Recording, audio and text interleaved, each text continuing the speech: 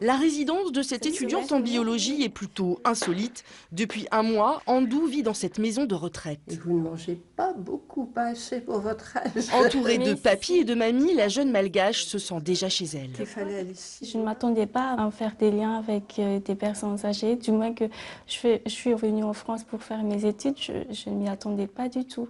C'est plus sympathique pour nous, les personnes âgées, que pour elle, j'ai l'impression.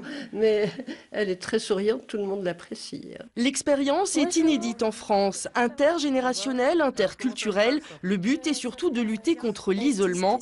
L'association Génération et Culture a servi de médiateur. Il a fallu rassurer Andou. Elle avait peur d'intervenir beaucoup plus euh, au niveau sanitaire et puis euh, au niveau accompagnement physique même, etc. Donc euh, on a pratiqué d'abord une visite, une rencontre, euh, dédramatiser les choses. et puis euh, voilà, elle, elle s'est rendue compte qu'en en fait on avait juste besoin d'une approche de convivialité. La jeune fille paye un loyer de 130 euros par mois.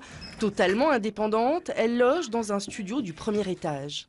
J'apprends plein de choses, surtout sur la guerre, parce qu'il parle surtout de ça. Et j'en apprends un peu plus sur la culture française, évidemment.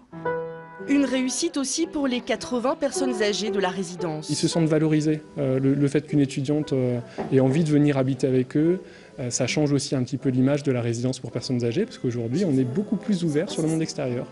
C'était Ça change un petit peu, non pas l'atmosphère, mais disons le, le- le genre de personnes qui s'y trouvent.